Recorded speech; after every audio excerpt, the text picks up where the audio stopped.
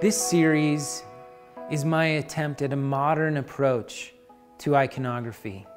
The iconographers of old used to create images, but when they did, they were to say, This is obviously not God, this is obviously not Christ, but they point to the prototype who is.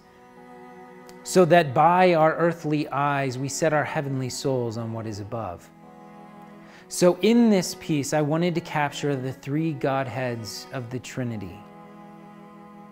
And I have done so in the form of the lion, as God calls himself the Lion of Judah, from the Old Testament all the way up into Revelation. And in the Old Testament, God the Father calls himself a consuming fire, a jealous God. And so you see the first lion with a mane of fire. But as you look at him, he is at a full profile because he was not able to have a direct relationship with his people who are cloaked in sin. And so he is set against a black background. And so he sent his son not to take on a crown of jewels, but a crown of thorns.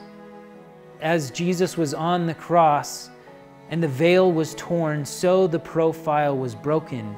But even Jesus said, I must go so that another may come. And he spoke of the Holy Spirit as the living water.